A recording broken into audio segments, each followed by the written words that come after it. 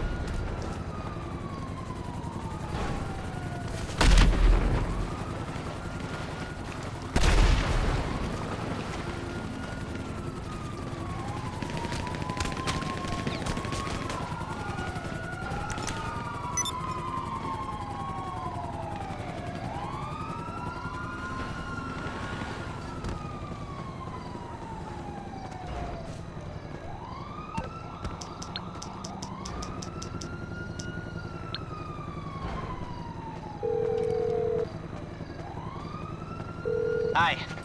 What service are you looking for? I can get it scrambled for a minute.